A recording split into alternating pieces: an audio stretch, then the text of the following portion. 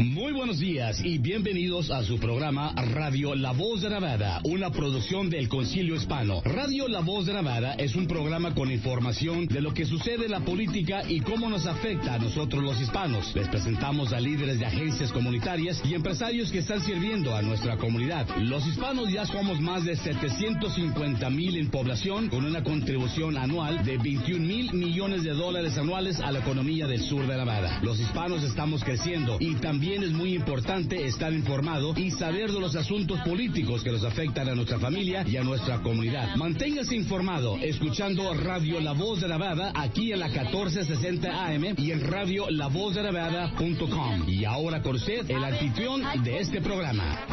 Pero no hay que Muy buenos días, gracias por acompañarnos una vez más aquí en Decisión Latina, que se transmite por el 1460 AM de Deportes Vegas y es una producción de Frame Broadcasting. Y bueno, es patrocinado por Concilio Hispano Media Group, un grupo dirigido por Miguel Barrientos. Como siempre les recordamos que el teléfono en cabina es 702-876-1087, 702-876-1087. Les saluda Viridiana Vidal, muy buenos días y me acompaña Ángel Sandoval. Hola, ¿qué tal, Viri? y Todos los que nos escuchan, muy buenos días. Espero que tengan un excelente inicio de este jueves. Y me gustaría comenzar eh, platicándoles que les tenemos una sorpresa, Viri. ¡Qué sorpresa! ¡Sorpréndeme! a todos los que nos están escuchando, eh, desde ahorita les vamos anunciando que si les gusta el programa, a esta semana les vamos a tener doble decisión latina. Entonces, el día de mañana vamos a estar aquí también a las ocho y media de la mañana para todos los que nos están escuchando. Eh, les vamos a traer de nueva cuenta más información. Vamos a tener eh, algunos invitados. De hecho, si no me equivoco, ya estamos platicando con una abogado de inmigración, entonces definitivamente va a ser un tema muy interesante para todos los que nos están escuchando. Tengan ahí sus preguntas sobre inmigración, uh, cualquier comentario nos lo pueden empezar a mandar a través de nuestras redes sociales como Decisión Latina. También pueden marcar al teléfono en cabina. Ahorita durante los cortes comerciales podemos anotar sus preguntas para tenerlas listas y preparadas para mañana para el abogado que vamos a tener. O de igual manera, mañana cuando esté aquí con nosotros, eh, usted siéntase con la confianza de poder llamar y eh, él va a hacer lo mejor posible para contestar todas las preguntas. Pero bueno, Viri, el día de hoy, ahora sí ya regresando a el presente, eh, no sé si te acuerdas que la semana pasada estuvimos hablando un poquito sobre eh, la decisión de la Suprema Corte de Justicia en la cuestión de acción afirm affirmative, action, acción afirmante, creo que se podría traducir algo así, uh, que era precisamente sobre el caso en el que se estaba discutiendo que para el proceso para poder elegir a los estudiantes que van a formar parte de cada generación de las universidades, el eh, darles como un punto extra o el considerar la raza eh, se considera como que es algo eh, que no va a poder seguir sucediendo. Eh, estuvimos hablando un poquito sobre eso la semana pasada. Eh, inclusive tuvimos aquí a la profesora Silvia Lazos que nos estuvo platicando un poquito de cómo se va a ver afectado nuestro estado específicamente y nos dijo que, eh, que no hay que tener esa como preocupación. Simplemente en lugar de ser un punto eh, como uno manejaba anteriormente el proceso de aplicación en su ensayo para poder entrar a la universidad, ahora va a ser necesario demostrar de otras maneras cómo el ser parte de una minoría es un motivo para eh, poder enriquecer la cultura y la sociedad de la universidad y por qué es importante esto. Entonces, hablamos un poquito sobre ese tema, pero yo sé que no fue la única decisión que tuvo la Suprema Corte de Justicia en, esas, en esta semana, en estos últimos días. De hecho, han habido varias. Entonces, ¿qué te parece, Viri, si platicamos un poquito sobre eso? No sé si te gustaría empezar con cuál te gustaría empezar y para, para, para ver qué es todo lo que ha sucedido, porque eso es lo más chistoso, que en estos días la Suprema Corte de Justicia ha hecho, ha, incomodado, no me gusta decir como enojar, pero ha incomodado, ahora sí que prácticamente a todo el mundo por una u otra de las decisiones que han tomado. Sí, han sido varias decisiones que se han tomado. Eh, en, yo diría en los últimos meses, eh, pero creo que empezó una ola, ¿no? Desde la que cancelaron Roy, Roy v. Wade, eh, que es básicamente la, la, la, ¿cómo se llama? El se me olvidó el inglés y el español. es básicamente eh, lo que establecía el, acceso al aborto a nivel a nivel federal. Eh, y pues fue derrocado el año pasado, ¿verdad? ¿Tiene un año? Sí, ya tiene. entonces, desde ahí empezó como una, una ola de diferentes decisiones que pues están cambiando diferentes derechos y diferentes eh, decisiones que han, estado establecidas por eh, décadas en los Estados Unidos y que se refieren a ciertas libertades. Em, me gustaría que empezáramos con el caso de una diseñadora gráfica ah, cristiana eh, que básicamente eh, de Colorado que ella dijo yo no yo quiero hacer como websites pero no quiero hacerlo para personas del mismo sexo que se quieran casar. Entonces, y ella lo hizo porque en Colorado existe una ley que básicamente protege a LGBTQ como una clase protegida. Y ella decía que sentía que la iban a forzar a tener que hacer ese trabajo. El caso primero se lleva a la corte en Colorado, Colorado básicamente lo derroca, lo llevan después a Supreme Court, eh, a la Corte Suprema Nacional. Y ahí precisamente esta ayer se dio ayer o antier no me acuerdo se dio la decisión precisamente de que básicamente se pusieron del lado de ella en la decisión diciendo que si ella no quiere hacer el website para personas del mismo sexo no se puede obligar porque es un trabajo creativo. Entonces la Corte Suprema en la decisión que es bastante larga este está diciendo que si es un trabajo creativo tienes el derecho de decirle que no a personas, porque tú no, no te pueden ah, obligar a crear como un speech en el que tú no crees o en el que no te sientes cómodo. Entonces, em, es, es, bastante interesante el caso porque al principio, esto fue en el 2016, ella interpuso el caso en el 2016 eh, y hace poco salió a la luz que de hecho ella dijo que le había mandado un email, una un hombre diciéndole que quería que le hiciera un website uh, que él se llamaba Smith y que quería que le hiciera un website para su boda con Mike y que ella no contestó el email pero que tenía miedo de contestarlo porque básicamente sentía que le iban a obligar a tener que hacer este website para dos hombres que se querían casar. Salió a la luz, eh, debido a investigaciones de reporteros, que de hecho era un caso ficticio. Eh, la información era falsa a ella el, email de la persona que supuestamente ella recibió es un hombre casado que tiene casado muchos años y él dijo yo no sé por qué a mí me incluyeron en eso que no soy yo y es un email falso que le mandaron eh, diciendo que es esta persona que era un él es un hombre hetero. Entonces uno hay mucha controversia porque por qué se permitió que un caso con hechos falsos llegar hasta la Corte Suprema y quedara on record. Eh, algunos abogados dicen que realmente eso no tiene que influir el caso per se, porque básicamente es sobre los derechos de ella, no sobre los derechos de la pareja o de la supuesta pareja eh, gay. Este, entonces el caso se gana y hay preocupación, pero hay dos lados de, de la historia. Uno es como alguien crea, que crea diferentes cosas entiendo el por qué no te pueden obligar a hacer algo, pero por el otro lado abre ciertas líneas porque la decisión es muy vaga, no tiene como especificaciones. Eh, entonces eh, abre la puerta y deja un loophole, como dicen en inglés, para ciertos tipos de discriminaciones. De que si alguien dice, ah, bueno, yo soy fotógrafo, pero yo no quiero tomarle fotos a mujeres porque yo creo que las mujeres no deberían de trabajar o no quiero tomarle fotos a, no sé, a los inmigrantes porque yo no creo que los inmigrantes deberían de estar en este país. O sea, abre un loophole de por qué tú como creador no quieres trabajar o hacer un servicio para ciertas personas. Y el problema más grande es que no se especifica qué es un trabajo creativo. Entonces, voy a parar ahí por un momento para que tú me digas lo que tú has leído y lo que tú opinas. Sí, Este, este caso en particular es un caso bastante interesante ya que no es la primera vez que sucede algo similar.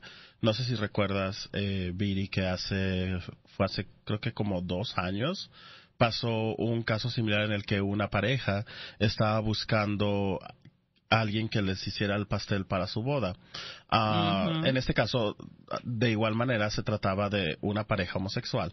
Entonces, ellos acuden a una panadería, una, una tienda de, pasteles y, panes, y les dicen que si pueden hacer el pastel para su boda, y dicen, sí, claro que sí, este, estos son los costos, etcétera, y luego ya que dice, les dicen, ok, pues, eh, cuáles son los monitos o a nombre de quién está la boda o lo que sea, y que dicen, no, no recuerdo los nombres, eh, esto fue un caso que pasó hace ya tiempo, eh, y dicen, digamos, Juan y José, y entonces dijeron la panadería, oh no, nosotros no podemos hacer ese pastel.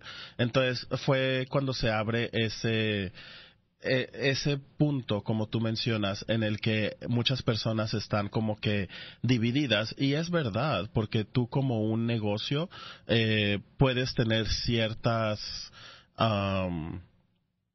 Ah, como ciertos aspectos a los que no te gustaría atender. Inclusive sabemos que es muy común el famoso no shirt, no shoes, no service, que eso yo obviamente es eh, una manera más más pequeña, ya que se trata específicamente que quieres que los tus comensales o los clientes estén completamente vestidos, no pueden ir descalzos o sin camisa a tu a tu establecimiento. Eh, de igual manera, si tú dices, bueno, por cualquier otro motivo yo no quiero hacer negocio con esta persona no deberían de obligarte a hacer negocios. Sin embargo, lo que están diciendo del otro lado es que al tú negarte por una cuestión de um, en este caso es de preferencia sexual, estás discriminando en contra de esa persona porque no es, no les están pidiendo que ellos eh, no sé, o sea, la, solicitud no es que ellos cambien su manera de pensar, que, cambien sus, sus, puntos de vista en cuestión del matrimonio entre personas del mismo sexo o del, del, mismo género, perdón. Entonces, es ahí donde está ese problema, el determinar hasta qué punto es que uno puede decir, no, yo no quiero hacer este, este negocio, o hasta qué punto está, está bien decir, mis creencias no se alinean con las creencias de esta persona. Eh, es por esto que yo no quiero eh, ser parte de ese negocio. Sin embargo, una de, otra de las cuestiones que estaban platicando bastante, eh, en este caso en particular en el que tú estás platicando, es que todos los argumentos de parte de la diseñadora gráfica eran eh, casos sobre personas de eh, el mismo género, personas homosexuales. Jamás dijo eh, yo no haría el, el, website de una persona que se case cristiana si yo soy católica o que se case judía. Ella dijo que ella solo no estaba de acuerdo en el hecho de que fuera un matrimonio entre personas del mismo género. Entonces eso abre esa otra como cajita de Pandora. Entonces ahí sí está ah, existiendo una discriminación, porque si ella es cristiana o católica y dice que no le molestaría hacer un website para una boda judía, que no es de sus creencias, que no es de lo que ella quiere participar, está, está como que ahora sí que pick and choosing cuáles son las batallas que ella quiere decir. O sea, por qué razón unas, unas bodas sí y otras bodas no, aunque las dos o, los diferentes casos de bodas no sean los mismos que ella quiere. O sea, si ella quiere abrir un negocio de diseño gráfico de bodas cristianas, adelante, e, ese sería el caso, que sean puras bodas cristianas. Pero la cuestión es que ese no era el argumento de ella. El argumento de ella era en contra de parejas del mismo género. Sí, y, eh, creo que haces ah, ah, algo que, que es como que medio hipócrita. en este tipo de casos porque eh, precisamente estaba escuchando un podcast donde los chicos decían, lo que molesta es la hipocresía porque no es que esté per se mal la decisión, pero es la hipocresía de solamente a personas del mismo sexo. Porque ¿por qué no dicen yo como católico no te voy a hacer un website o no te voy a hacer un pastel si si no si te divorciaste y te has casado tres veces? Pero técnicamente en la religión católica tú te debes de casar una sola vez y aguantar hasta que la muerte lo separe, a menos que la iglesia anule tu matrimonio. Entonces, ¿por qué no existe esa hipocresía de yo soy católico, no quiero que este hacerle websites a personas que se han casado más de una vez? O sea, no, no existe, es solamente específicamente contra LGBTQ. Em, y creo que va a tener un impacto a nivel nacional pero más que nada es como el hecho de como que se, se, se sigue normalizando este, este tipo de conversaciones donde mm, está bien discriminar. Al final del día, sinceramente, si yo si, si a mí me discriminaran y alguien me dijera, ay, no, yo no quiero trabajar contigo porque eres mexicana, ¿por qué quieres trabajar con esa persona? O empujarla a que esa persona trabaje para ti. O sea, se me hace como que X, ¿no? O sea, si no quieres me voy con otra persona a que me ayude, que me haga el servicio, porque eh, me, pasaría como si regresas la comida en, un restaurante, ¿no? Sentiría que le van a escupir al servicio. Este... Pero al mismo tiempo, imagínate tú que sabes que los pasteles de la panadería Viri Vidal son deliciosísimos y ese es el que quieres en tu boda. ¿Y por qué tienes que irte a los pasteles que están un poquito más, menos buenos, menos eh, sabrosos o que se ven más feos, solo porque la panadería Viri Vidal no te quiso vender a ti? ¿Por qué razón tú tienes que sufrirle? Pues por eso. Eh, pero sí, o sea, es, es una es una, pero también como persona creativa, porque trabajo en cosas creativas, a mí no me gustaría que me forzaran a trabajar, no, no sé, patrón, no. este, pero sí creo que es un humongous loophole. O sea, el hecho de que puedas eh, pick and choose, a estos sí, a estos no, porque es que yo no estoy de acuerdo. eh, creo que sí es, es eh, creo que es peligroso, pero lo más, más peligroso es la normalización de las cosas y de que, bueno, seguimos viendo este tipo de decisiones en la Corte Suprema que, que está teniendo efectos y derrocando cosas que han estado por décadas este, y que han, pues, asegurado accesos, ah, se podría decir, o eh, un poco de equidad para ciertas minorías eh, que históricamente han estado en desventaja y, creo que este es uno de los casos. La, los derechos de, de, las personas LGBTQ por décadas han estado atrasados y apenas empiezan así como que a, agarrar ritmito y empezamos a ver este tipo de cosas donde son muchísimos ataques, incluyendo pues eh, esta decisión de la Corte Suprema, em, que, que, pues creo que deja un mal sabor de boca, pero también ya se esperaban, ¿no? Ese tipo de decisiones desde que se, se sabe que la, la Corte Suprema se, digámoslo así, se desbalanceó un poco hacia, hacia el lado más conservador. Este, se esperaba que muchas de estas decisiones y muchos de estos casos, este, llegaran a, a ser como derrocados, ¿no? Eh, y, y cambiar ciertos accesos.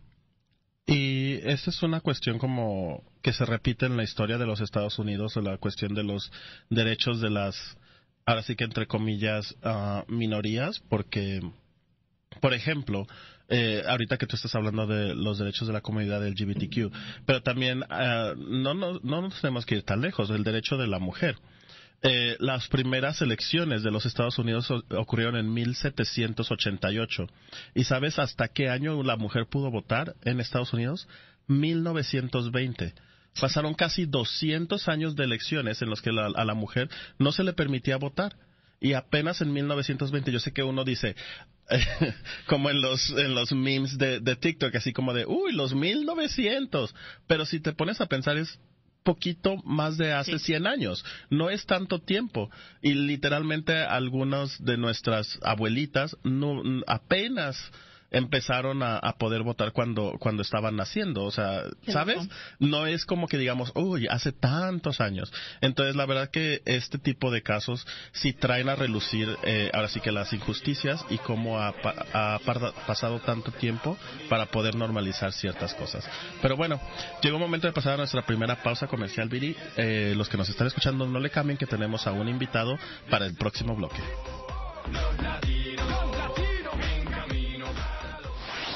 Gracias por escuchar a Radio La Voz de Nevada, el programa que mantiene a nuestra comunidad bien informada. Radio La Voz de Nevada es una producción del Concilio Hispano Media Group. Regresamos después de esos anuncios de nuestros patrocinadores.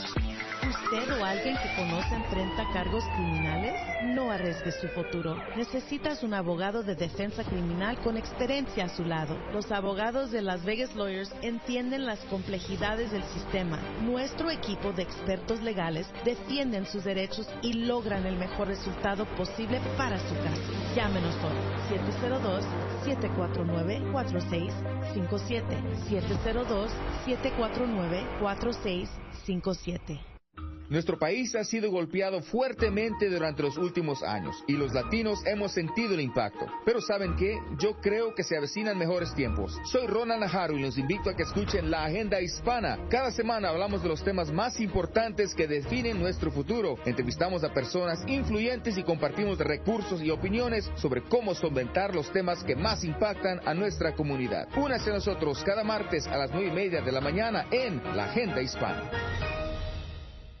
Buenos días, soy Marta González, su representante de la funeraria y cementerios Bunkers aquí en Las Vegas. Muchas veces al solicitar nuestros servicios las familias se esperan hasta el último momento y no están preparados. Los servicios funerales para sus seres queridos deben de ser muy especial con arreglos que les facilitarán el proceso y les brindarán paz. En la funeraria y cementerios Bunkers hay paquetes para usted y su familia a un costo que puedan pagar. Tenemos pagos mensuales desde 50 dólares para más detalles e incentivos en jardines privados, espacios o nichos de entierro, llame al 702-637-5194. La funeraria y cementerios Bunkers ha brindado servicios profesionales a la comunidad por más de 80 años. Entendemos sus necesidades y estamos preparados para servirles. Llámeme hoy al 702-637-5194. Muchas gracias. Soy Marta González, 702-637-5194. Proteja su mañana hoy.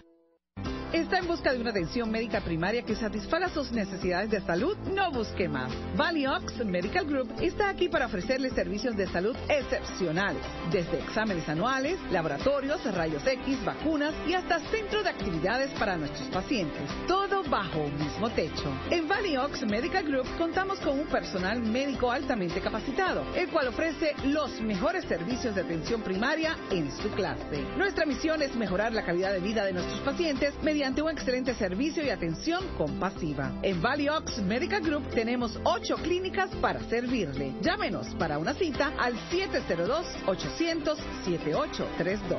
702-800-7832. Ox Medical Group. Cuidados compasivos para una mejor vida. Recuerde llamarnos para una cita al 702-800-7832. 702-800-7832. ¿Tu sueño americano se está convirtiendo en una pesadilla? ¿Le preocupa ser deportado y separado de su familia? No pongas tu futuro en peligro. Entendemos el estrés y la ansiedad a los que te enfrentas. BestImmigrationLawyer.com es un bufete de abogados que manejan casos de inmigración en todo Las Vegas. Cuando quieres lo mejor, quieres que el mejor abogado de inmigración venga a tu lado. Llámenos hoy 702-745-7892. Roberto la comida mexicana que te gustará. Ven a el sabor selección. Amigos, ustedes saben que el desayuno es la hora favorita del día. Y nada satisface mi apetito como el Big Breakfast Burrito de Roberto's Taco Shop. Mmm, ya lo estoy saboreando. Abundante huevo, tocino crujiente papas tostadas envuelto en una tortilla calientita de harina. Y por si fuera poco, una bebida refrescante. Esto es maravilloso.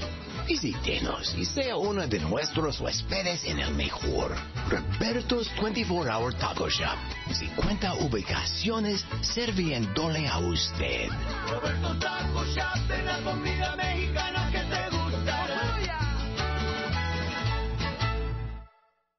presentamos el programa legal con los abogados de Las Vegas Lawyers y Best Immigration Lawyers, aquí en Radio La Voz de Nevada y en lavozdenevada.com. Únase a las familias que están aprendiendo las leyes para conocer sus derechos. Para sus casos de inmigración o cualquier caso legal, nuestro equipo de abogados está listo para ayudarle en su idioma. Llame hoy al 702-749-4657 y escúchenos todos los viernes a las 9.30 de la mañana. Conozca sus derechos, porque saber es poder.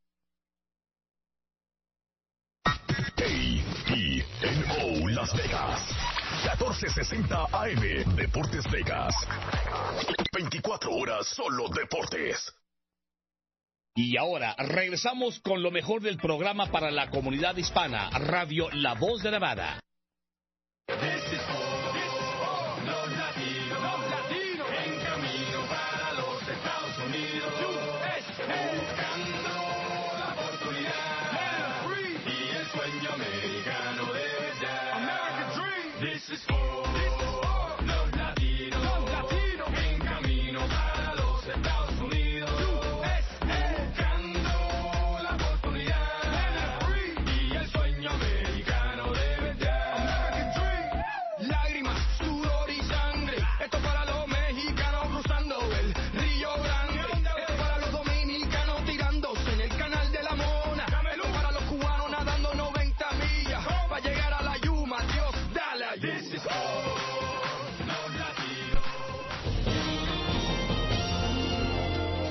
Toneladas de cohetes confiscados y más de 100 incendios es el saldo de este 4 de julio. Las Vegas, el lugar donde más han bajado las rentas en los Estados Unidos, pero no se nota. Anuncia Fórmula 1 fecha para el 2024 en Las Vegas. El noticiero La Voz de Nevada es producido por el Concilio Hispano Media Group y llega a usted por cortesía de Roberto Taco Shop, Valley Oaks Medical Group, Chicanos por la Causa y Make the Road Nevada. Ahora con ustedes, Lupita Humildad y las noticias que le interesan a la comunidad latina de Nevada. Hola, ¿qué tal? Es un gusto saludarles. Soy Lupita Humildad y le tengo las noticias para todo el estado de Nevada en nuestro idioma. Si bien con bastante anticipación se llevan a cabo campañas para crear conciencia acerca del peligro de detonar cohetes, todo indica que fueron bastantes quienes decidieron hacer caso omiso. Los departamentos de bomberos reportan no menos de 100 incendios ocurridos durante la noche de este 4 de julio en el área metropolitana de Las Vegas. Al menos una decena de estos siniestros ocurrieron en el edificios del lugar, algunos con consecuencias bastante importantes, como el ocurrido en la cuadra 11.000 de la Highland Royals Street, que acabó con una vivienda. La Policía Metropolitana reporta el decomiso de 2.537 libras de explosivos y la emisión de 61 citatorios en el área de Las Vegas. Otras comunidades como Henderson y North Las Vegas no reportaron detenciones, por este tema. Un estudio comparativo en las rentas a lo largo de los Estados Unidos en el periodo de mayo del 2022 al mismo mes de este año indica que la baja más importante es la que se ha registrado en el área de Las Vegas. De acuerdo a dicho análisis, el precio promedio de renta de una vivienda de una habitación en esta zona es de 1.150 dólares mensuales, por lo que se puede estimar que la reducción en el periodo de un año es de 6%, la más alta, como dijimos, en los Estados Unidos. Ahora bien, en dólares esto significa poco menos de 70 cada mes. Una de las razones por las que no notamos esta mejoría es porque las rentas aumentaron desde el 2009 en forma geométrica, subiendo en este periodo 57%, lo que hace ver esta baja del 6% como algo marginal. Yo tengo más noticias para usted. Aún no se lleva a cabo la edición del 2023, pero la Fórmula 1 ya anunció las fechas para el Gran Premio de Las Vegas el próximo 2024. El organismo publicó el calendario para el próximo año, en donde se mueve la fecha para la Ciudad de México hacia el sábado en lugar del tradicional domingo, mientras que en Las Vegas los bólidos recorrerán con velocidades por arriba de las 200 millas por hora. Las atracciones más representativas en esta ciudad los días 21, 22 y 23 de noviembre del 2024. Mientras tanto, ya hay avances importantes para la primera edición de esta competencia, misma que será del 16 al 18 de noviembre y que se espera dure por lo menos 10 años presentándose. Más noticias, así como en las películas futuristas, se espera que en el 2025 llegue a los consumidores el primer auto volador. La FAA dio su beneplácito para comenzar las pruebas con el modelo A de Aleph con una compañía que está trabajando en el diseño de un carro volador. Este se venderá inicialmente en unos 300 mil dólares y operaría enteramente con electricidad. De acuerdo a los fabricantes, podría rodar hasta 200 millas con una sola carga o volar unas 110. La compañía ya está aceptando pedidos para entregar a partir de la fecha antes mencionada. Bueno, yo solo pienso en los supersónicos. ¿Y tú, Alex? Vamos contigo y el pronóstico del tiempo. Pues mira, Lupita, ves que nos rebasa cada cuate en el frigo y que parece que va volando, por lo menos ahora lo van a hacer de verdad. Pero vámonos con las condiciones que estaremos viendo a lo largo de este día. Ahorita el termómetro está marcando 88 grados. Estaremos viendo cómo aumenta la temperatura hasta que lleguemos a los 106. Es la temperatura que espero tengamos presente allá por las 4 de la tarde. Luego estaremos estaremos viendo de cielo despejado y este tipo de condiciones no va a cambiar mucho a lo largo de estos próximos días, ya que para mañana viernes espero también cielo despejado con 105 grados, el domingo por el estilo y cuando veremos un aumento más notorio en el tema de las temperaturas será hacia la próxima semana, ya que por el miércoles deberemos de andar en valores cercanos a los 114 grados de lluvias, no se anticipa nada y le invito a que se mantenga hidratado para que se proteja del golpe de calor. Ha sido todo un placer informarle, comparta estos segmentos, nosotros le tenemos más noticias.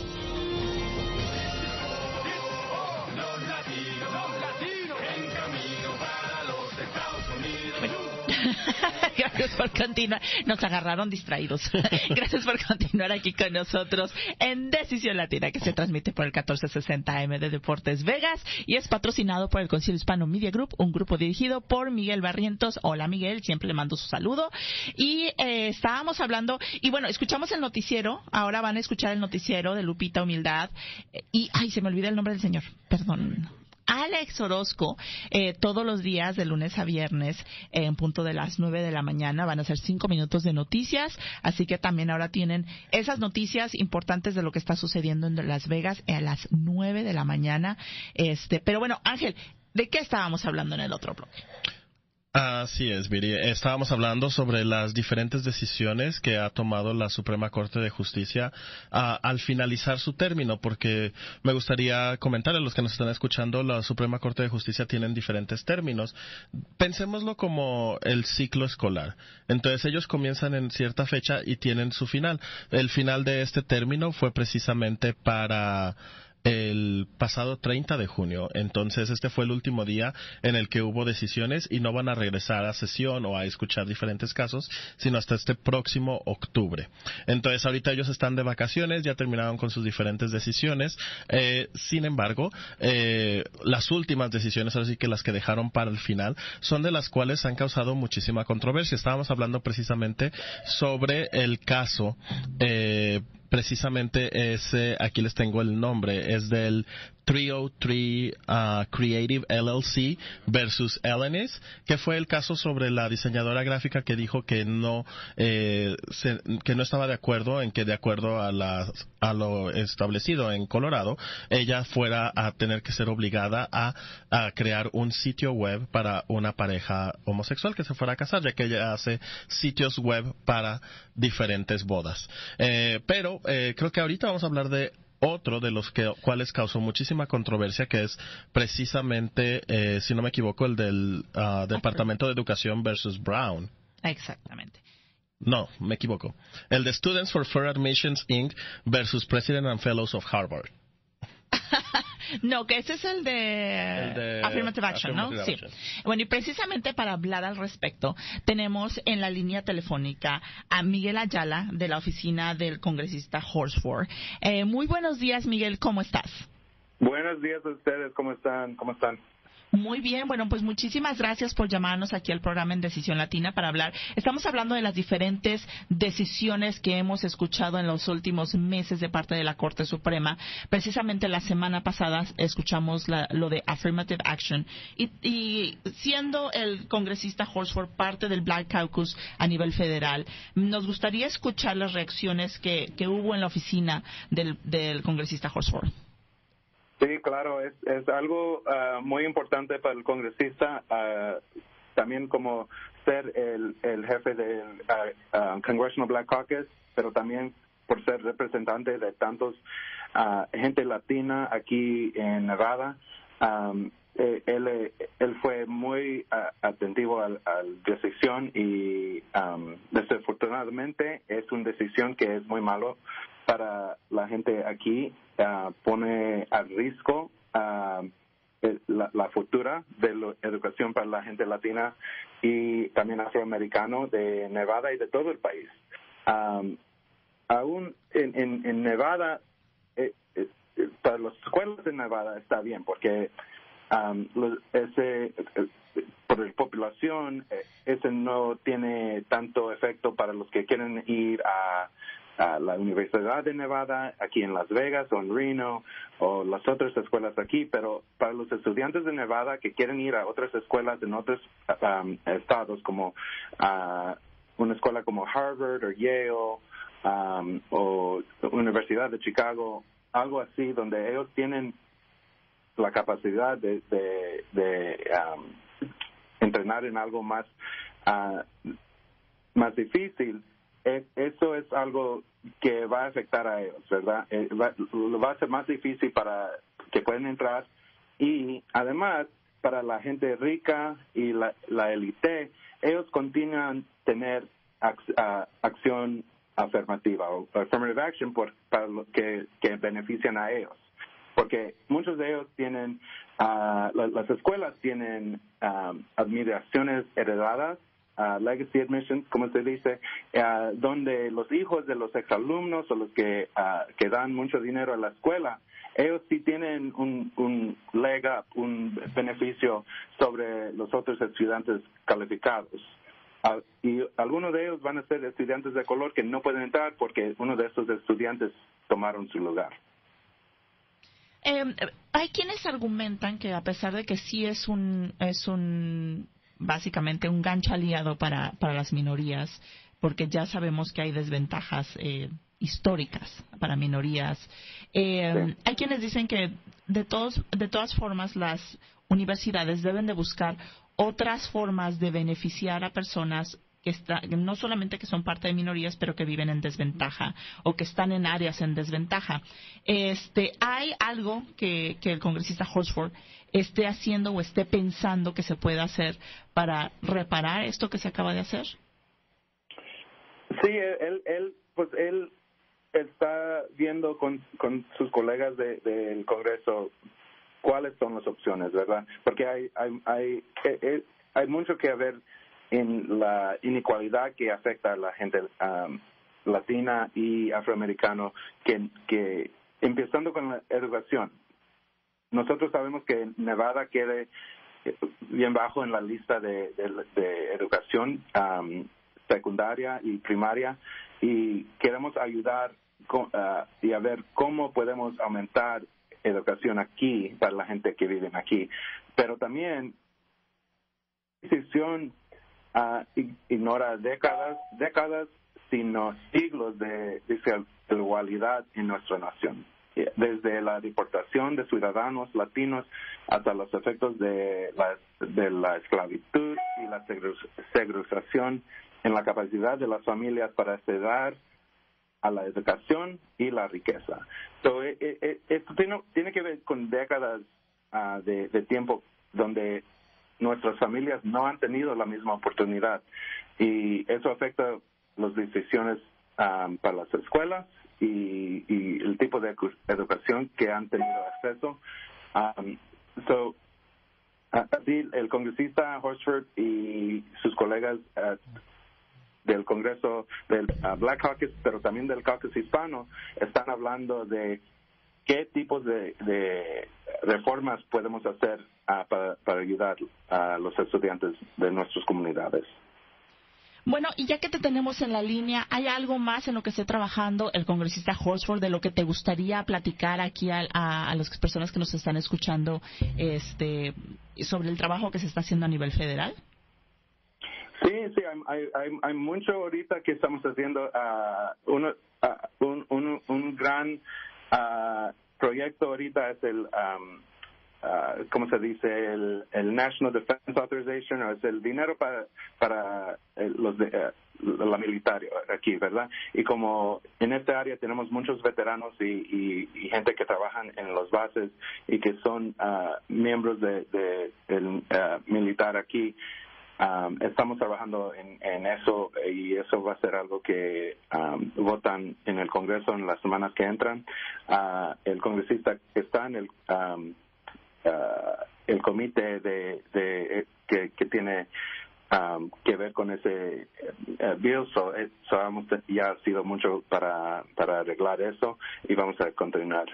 pero también él continúa a trabajar con Nanette Bargan, la congresista de California, ella es la presidenta del Caucus Hispano y han trabajado juntos para ayudar a, hablar con, con, estudiantes, con nuestras comunidades, todo sobre los derechos de votar, sobre las elecciones y ahorita en este sábado el congresista Horsford va a tener un evento aquí en, en Las Vegas hablando sobre los derechos de votar y, cómo vamos a, arreglar eso. la semana pasada también tuvimos un evento anunciando la introducción del acto de igualdad, el Quality Act, que es para proteger los derechos de la gente eh, gay, lesbiana, transgender, etcétera. yo sé que estamos, estaban hablando de eso cuando llamé sobre el caso del Corte Supremo, pero es algo que, que afectará para ayudar contra esa decisión también. Bueno, pues muchísimas gracias por habernos acompañado aquí para hablar precisamente de, del trabajo que se está haciendo a nivel federal de parte de los congresistas, específicamente del congresista Horsford. ¿Algo más que te gustaría agregar antes de despedirte? Ah, sí, algo, si necesitan alguna ayuda con algún caso federal, serían los taxes, el pasaporte o problemas con tu correo, ah, contacto en nuestra oficina, aquí estamos para ayudarte. Uh, eh, pueden ver el, uh, el website es Horsford, H-O-R-S-F-O-R-D punto house, H-O-U-S-E gov, G-O-V como venga. Y, y, ahí estamos para ayudarte. También uh, puedes llamar nuestra oficina que queda aquí en North Las Vegas, Ah, y aquí siempre estamos para ayudarte.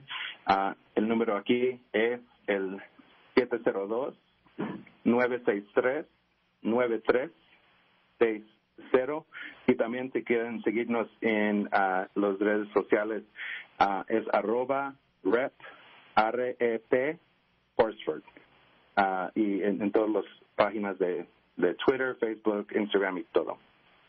Bueno, pues muchísimas gracias, Miguel, por habernos acompañado. Como siempre, un gusto tenerte aquí y esperamos tenerte otra vez muy pronto. Sí, claro que sí. Muchas gracias por tenerme.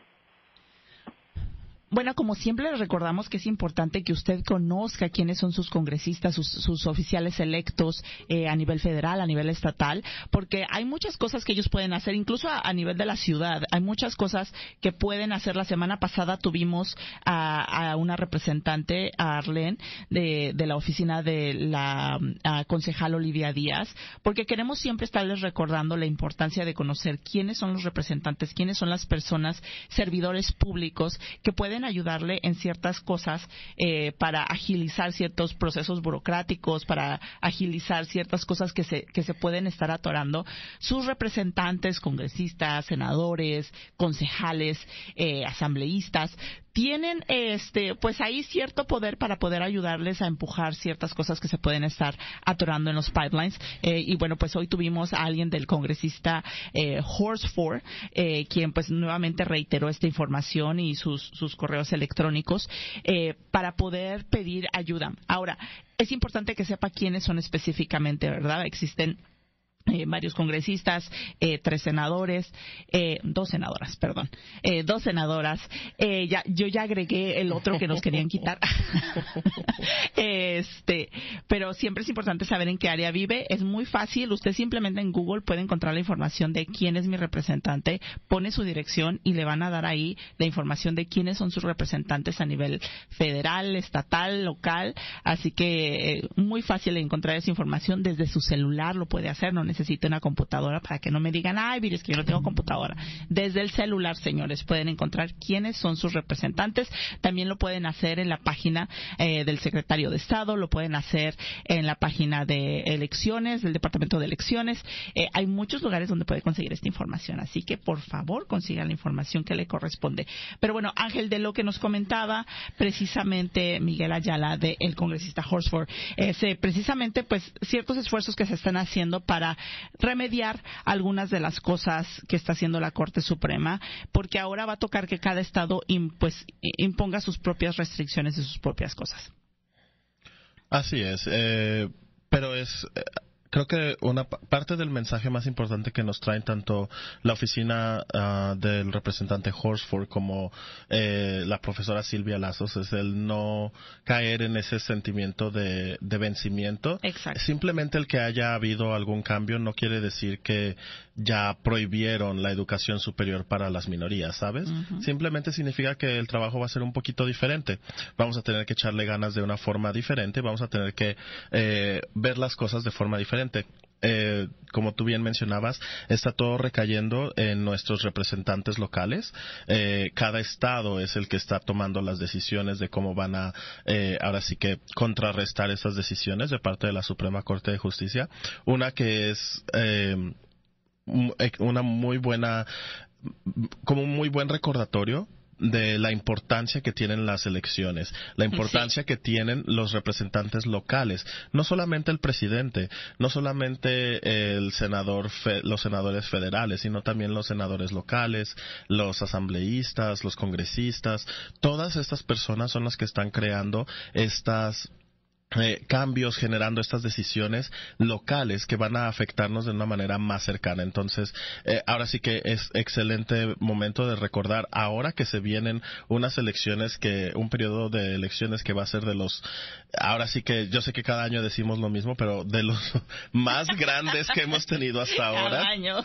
Porque cada año parece que siempre hay algo más en juego. En esta ocasión vamos a ver qué es lo que sucede teniendo tantos eh, contrincantes o tantos contendientes, perdón, no contrincantes, tantos contendientes tan fuertes con eh, puntos de vista tan polarizantes, entonces va a ser importante eh, concentrarnos no solamente en la, eh, en la en nuestra boleta en la sección de presidente, sino también en todos los otros puntos que pueden afectar ahora sí que nuestro día a día, nuestra vida diaria y las decisiones que se están tomando.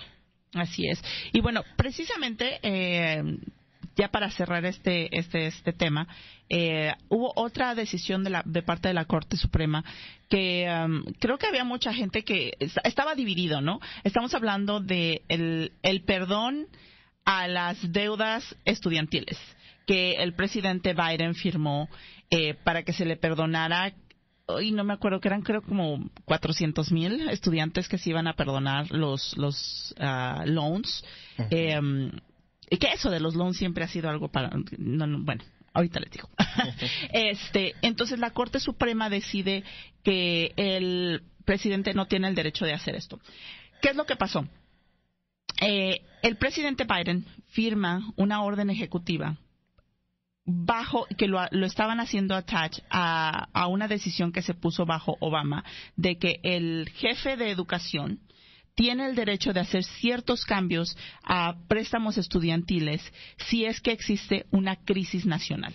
Entonces, lo que ellos hicieron, dijeron, ah, bueno, existió una crisis nacional, que fue la pandemia, eh, internacional, de hecho, eh, y por eso es que le estamos dando el poder de perdonar estas deudas de préstamos estudiantiles a, jóvenes, ¿no? Eh, en, el, en el país se va a la corte, eh, hubo como 20 demandas diferentes, y entre ellas dos debtors eh, o deudores que demandaron porque creían que esto era unfair.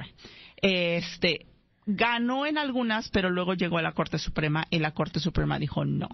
Estás haciendo overreach o estás ahora sí que extendiendo la mano mucho eh, en este en esta orden no tienes tú como presidente y bajo el hecho de, la ley establecida hace años de que el jefe de educación puede cambiar la ley, no aplica a cambiar y completamente eliminar deudas a negocios privados. Entonces la Corte Suprema básicamente dice, esta ley no va, no se le van a perdonar las deudas estudiantiles a pues a jóvenes que tienen años pagando eso. Y es lo que sigue, eso fue como la información factual. Lo que sigue es mi, opinión personal. Eh, creo que ha sido muy controversial esta, esta básicamente esta ley o esto que se trató de interponer. Porque hay quienes decían, no, pero es porque le van a perdonar, a mí ya me tocó pagar la, la este, o por qué si yo trabajé para pagar la universidad, me, no, a mí no me van a perdonar nada y a ellos sí les van a perdonar. Pero ya aquí el señor de la tijerita me está diciendo que nos tenemos que ir a un corte comercial. Cuando regresemos seguimos hablando precisamente de esta, la tercera decisión de la Corte Suprema que tuvimos esta semana. No le cambie. Gracias por escuchar a Radio La Voz de Nevada, el programa que mantiene a nuestra comunidad bien informada. Radio La Voz de Nevada es una producción del Concilio Hispano Media Group. Regresamos después de esos anuncios de nuestros patrocinadores usted o alguien que conoce enfrenta cargos criminales?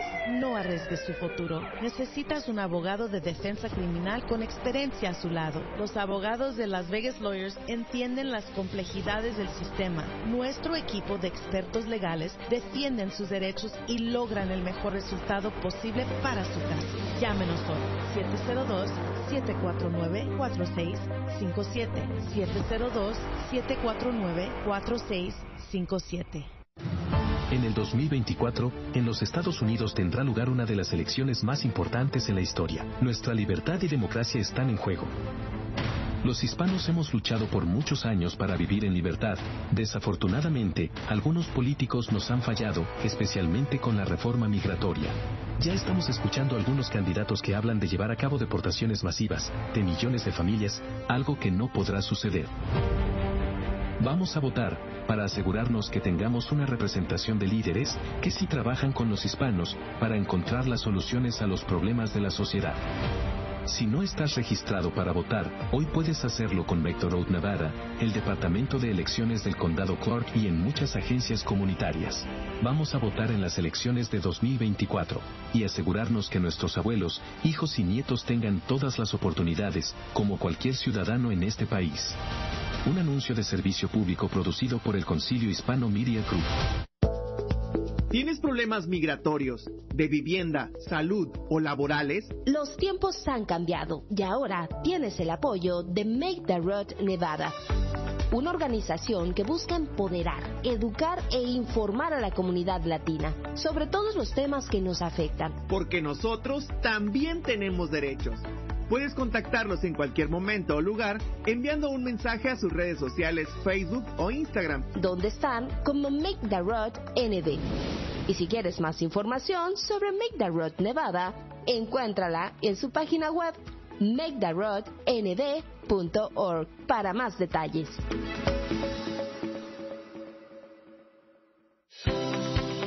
Los lunes te esperamos en Radio La Voz de Nevada. A las 8.30 tenemos para ti las buenas noticias. Un recuento de lo que sucede en Nevada desde un punto de vista positivo. Hablaremos de buenas noticias para tu bolsillo, para tu salud y para tu vida diaria en general. Escúchanos a través de Keno 1460 AM y en lavozdenevada.com, así como en las más importantes redes sociales. Las buenas noticias están en Radio La Voz de Nevada qué lindo domingo. ¿Ya están listos? A ver si conseguimos lugar. Sí, sí, ahí vamos, Abue. ¡Ah!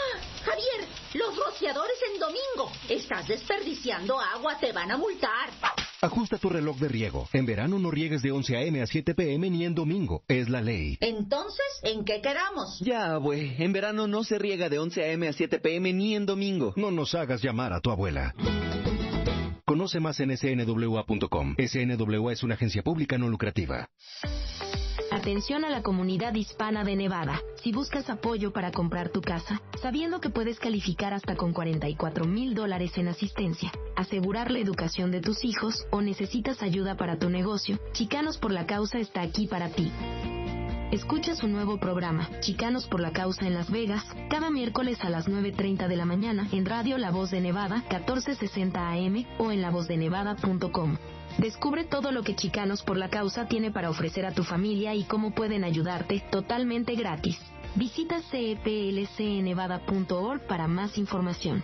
No estás solo, Chicanos por la Causa está contigo. Las elecciones llegaron a su fin. Pero tu papel en la democracia no termina ahí. Este continúa y es indispensable estar informado para poder seguir influyendo en el proceso democrático y exigir a nuestros representantes que cumplan sus promesas a la comunidad. Mantente informado con Decisión Latina con Viridiana Vidal y Ángel Sandoval todos los jueves de 8.30 a 10 de la mañana, donde analizamos la legislatura y su impacto en nuestra vida diaria. Además de explicar de forma sencilla de entender lo último en cuanto a política, economía, salud y mucho más. Te esperamos con información confiable cada jueves aquí en Decisión Latina. Y ahora regresamos con lo mejor del programa para la comunidad hispana, Radio La Voz de Nevada. Muchísimas gracias por continuar aquí con nosotros en Decisión Latina, que se transmite por el 1460 AM de Deportes Vegas y es patrocinado por el Concilio Hispano Media Group, un grupo dirigido por Miguel Barrientos. Y bueno, les saluda Viviana Vidal. Hemos estado hablando aquí con Ángel Sandoval, como cada jueves de ocho y media a 10 de la mañana, sobre diferentes temas que nos impactan directamente, temas de política, temas de comunidad, que nos impactan directamente a nosotros, la comunidad hispana, aquí en el, en el estado de Nevada y en el Valle de Las Vegas, que es un valle, siempre se me olvida. Eh, pero bueno, eh, estábamos hablando antes de ir a la pausa eh, sobre una de las uh, tres decisiones controversiales que escuchamos de la Corte Suprema en lo que han sido las últimas dos semanas. Uh, la primera de la que hablamos fue sobre el caso de una diseñadora de websites, una diseñadora gráfica de websites, que dijo que ella quería diseñar websites para boda, pero no quería diseñar websites para boda de personas del mismo sexo. Llegó a la Corte Suprema y ella ganó el caso. Discutimos cómo esto puede tener repercusiones creando un loophole a nivel nacional para ciertas eh, minorías no solamente para LGBTQ, pero para cualquier persona que diga que tiene un trabajo creativo y que no quiere darle servicio a a quien quiera, porque es trabajo creativo. Este, y la segunda hablamos con un representante del congresista Horsford, con Miguel Ayala, de la oficina del congresista Horsford, quien habló sobre um, affirmative action, que es de lo que hablamos también la semana pasada, sobre la decisión de la Corte Suprema de que el hecho de ser parte de una minoría ya no va a ser ese puntito extra que se les daba en las admisiones a las universidades a, a jóvenes que, que son de raza negra, Este, um, hubo un punto ahí que a mí se me olvidó mencionar en un momento. Eh, y el tercero, pues estábamos hablando precisamente de eh, la decisión de la Corte Suprema de tirar este, la, la, la orden que había dado el presidente Biden de perdonarle. Ya se me, te lo acabo de decir, 40 millones de, de, jóvenes se les iba a perdonar parte de sus préstamos estudiantiles. Entonces estábamos hablando de eso. Eh, les contamos básicamente pues de qué se trata, la, la, por qué la Corte Suprema dijo que que no tiene, el gobierno federal no tiene el derecho de hacer este cambio y de perdonar estas deudas y básicamente pues ahí tan tan se acabó. Pero Ángel, tu reacción a este a esta última decisión de la que estábamos hablando. Uh, primero me gustaría añadir un poquito más de, lo, la información que estábamos platicando durante el corte aquí, eh, el corte comercial. Sabemos que al escuchar esto, especialmente las personas que no tenemos una un préstamo estudiantil, nos puede sonar como de, ay, qué, qué injusto, cómo, cómo pasó esto, yo de haber sabido eh, si pedía un préstamo estudiantil. Um, pero me gustaría como aclarar un poquito las cosas. Eh, la cantidad que el presidente estaba eh, prometiendo que iba a cancelar de la deuda era un máximo de hasta 20 mil dólares. Eh, entonces esto quiere decir que si había estudiantes que todavía tenían una deuda de, digamos, 30 mil, 40 mil, 50 mil, eh, cualquier otra cantidad mayor a 20, solo se les iba a perdonar esos 20 mil dólares. Si tú tenías una deuda de 10, 11 mil dólares, obviamente se iba a cancelar completamente tu deuda, ya que era una cantidad menor a este máximo de 20 mil dólares por persona eh, que se iba a estar perdonando. Y cabe también mencionar que esto era únicamente para los préstamos estudiantiles federales eh, de aquellos que calificaban. Entonces, ahí vienen otras dos partes. Uno, tiene que haber sido a través de un programa federal que se había solicitado este préstamo estudiantil. Entonces, sabemos que hay muchísimas maneras de conseguir préstamos estudiantiles. Si el préstamo estudiantil que con el que contaban las personas no venía de un programa federal, no iba a contar para este programa de eh, cancelación de, de los préstamos estudiantiles. Y la otra cosa era que iba a haber un proceso para ver quién calificaba para poder recibir este alivio económico o esta ayuda económica. Eh, como tú bien lo habías mencionado, esto fue un anuncio que el actual presidente Joe Biden eh, dio el año pasado, en agosto del 2022.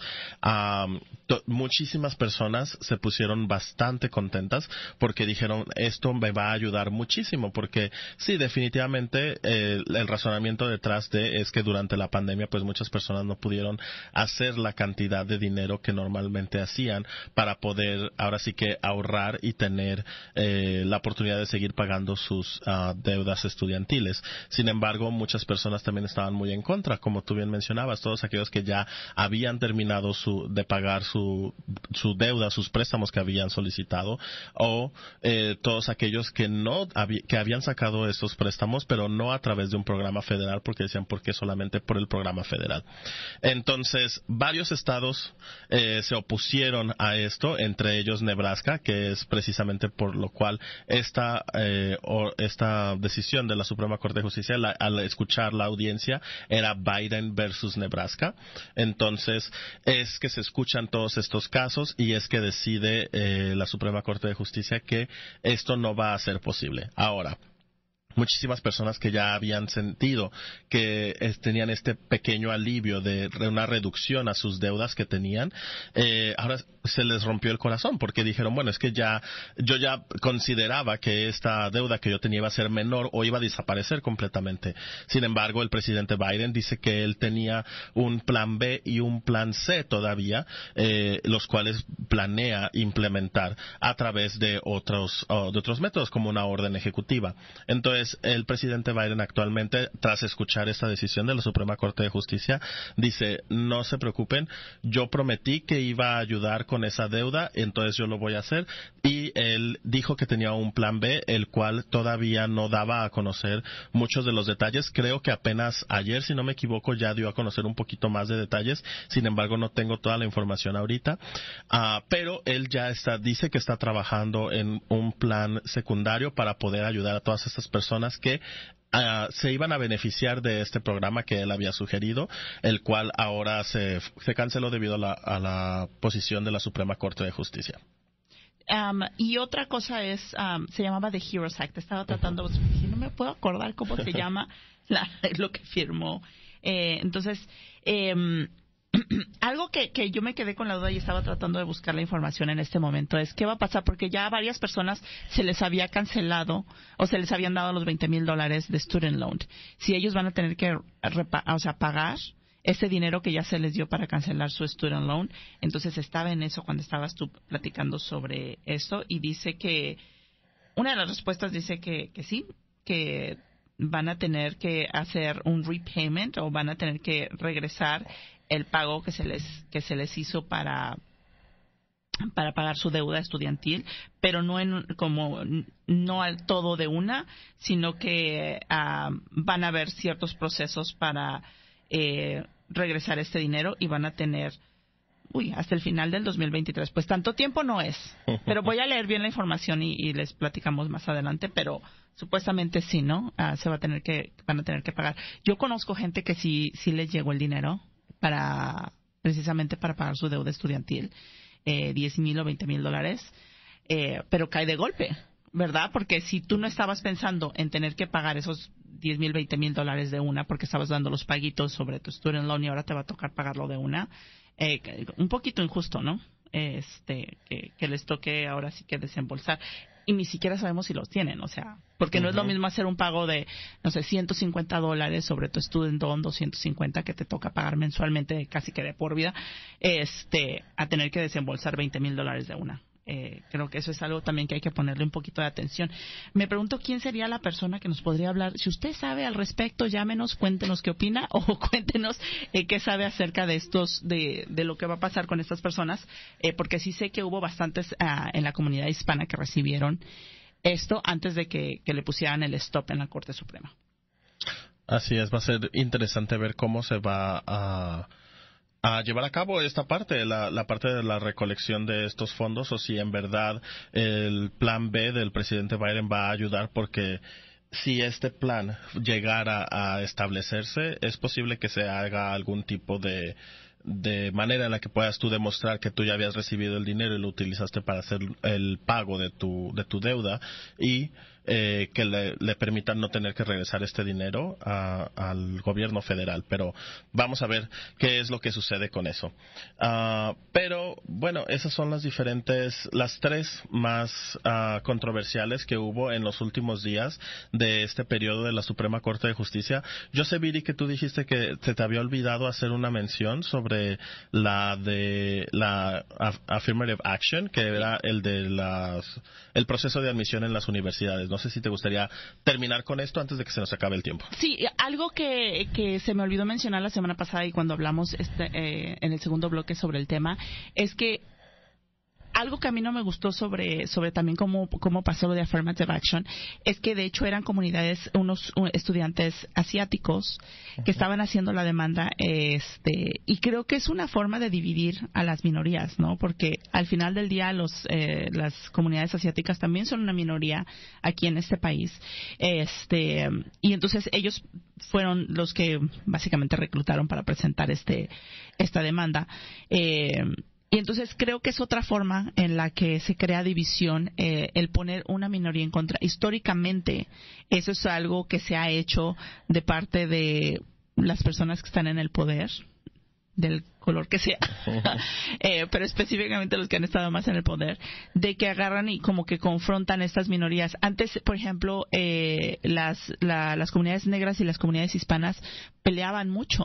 Eh, por ejemplo, en Los Ángeles era existían hasta pues gangs, ¿no? Unas en contra y era muy conocido que los, las comunidades negras con las comunidades hispanas se traían pique y, y creo que se, se ha superado esa eh, rivalidad interpuesta por una por un tercer grupo que ni siquiera era como eh, tanto entre ellos, sino que era como que los ponían como que, ah, en México decimos cizañoso, yo no sé si, si todos entienden, como esa cizaña entre dos minorías eh, que básicamente, como dicen, ¿no? Divide y triunfarás porque si divides a las, a las comunidades, si divides a las minorías, entonces tienes grupos más pequeños.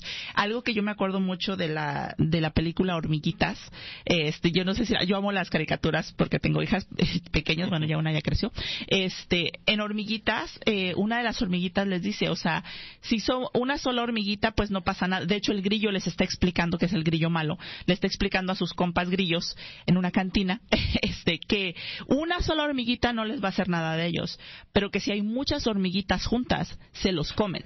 Entonces todos como que, oh, de veras, entonces una hormiguita no hace nada, pero mil hormiguitas hacen mucho, ¿no?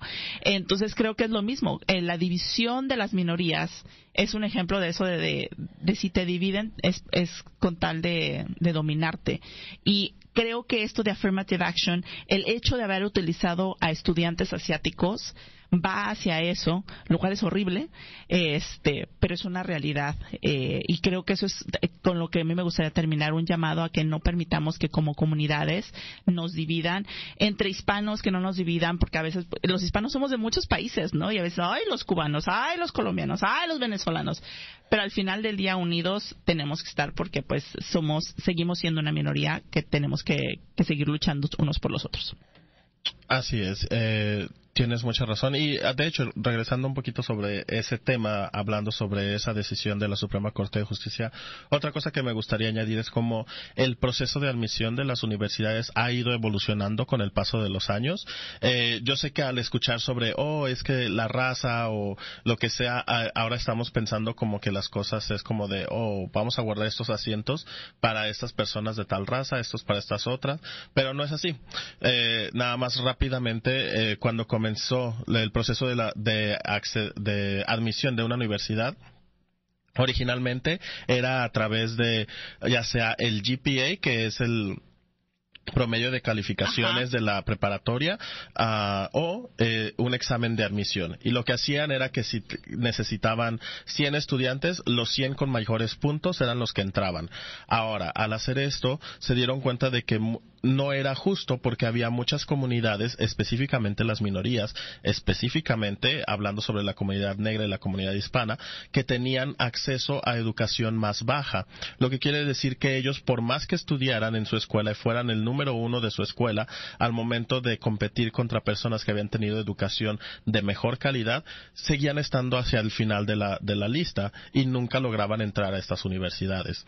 Entonces, ¿qué fue lo que se determinó o lo que se decidió hacer? Fue que eh, cambiaron el sistema y dijeron, ok, el 80% de la admisión va a ser los promedios más altos y el 20% va a ser de las minorías los promedios más altos. Sin embargo, cuando sucedió un caso muy grande, que fue una demanda que también llegó a la Suprema Corte de Justicia, de una persona que dijo, yo no me alcancé a entrar a la, a la universidad porque yo soy caucásico, entonces yo quedé como en el en el puesto número uno antes de, que, uno despuesito de que se terminara.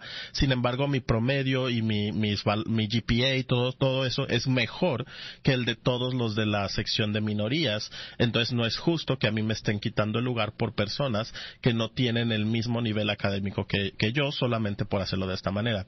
Y es entonces que se comienza esta reestructuración nuevamente de cómo se hace este proceso de admisiones. Y entonces cuando, ah, y es cuando comienzan a hacer las evaluaciones por estudiante, que es que piden a los estudiantes cuando uno hace una solicitud para una universidad, especialmente las universidades de mejor calidad en los Estados Unidos piden muchísima información, tanto tu GPA, que es el promedio de calificaciones, es muy importante, eh, exámenes de admisión son muy importantes, pero también te piden que hagas un ensayo sobre que tú hables de cómo es que esta universidad es la adecuada para ti. Entonces se determinan varios puntos, no solamente eh, se va a decir los de mejores eh, calificaciones o los de mejores puntajes. Entonces, eh, es digamos que es como una tabla de puntitos en donde les van aumentando puntos y es ahí que por eso como tú lo mencionabas Viri el hablar sobre la, las raza era como un puntito extra.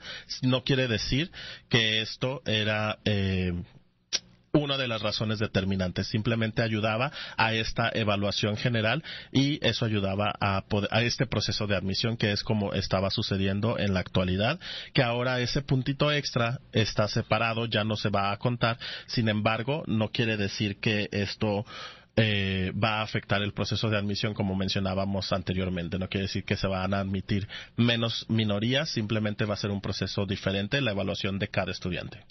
Cabe mencionar que hay, eh, aunque las ya no se ya no existen como las cuotas, sería la como el número de personas de minorías que tiene que tener una universidad, por ejemplo, eh, debido a que pues la Corte Suprema lo quitó. Eh, creo que en ciertas universidades, algo que escuchaba ayer precisamente también es como, hay universidades, por ejemplo, en California, que pues, no pasa nada, ¿no? O sea, ellos siempre van a tener minorías, pero los grandes problemas ocurren como en, en, en áreas donde históricamente existe mucho racismo, eh, donde históricamente eh, todavía se, o sea, no les gusta tener a minorías en sus escuelas. Eh, por eso es que para esas escuelas es que se, se trataba de empujar que tuvieran una, una cuota, ¿no? Un número mínimo de personas minoritarias porque por lo menos se, se veían obligados a recibir. Me parece que, que dijeron Mississippi, no me acuerdo cuál era esta universidad, donde eh, pues históricamente los tuvieron que empujar básicamente a tener cierto número de minorías porque no querían tener minorías, ¿no? Entonces, eh, eh, eh, aunque sí, pues existen eh, ahora otros factores que se pueden tomar en cuenta. el peligro más grande creo que es este que mm, con estas decisiones que se hicieron de las que estuvimos hablando durante el programa es el que se empiezan a dar esos chancecitos para volver a discriminar, para volver a decir, ay, pues es que a mí no me gusta tu forma de vida, so, shu, ¿no?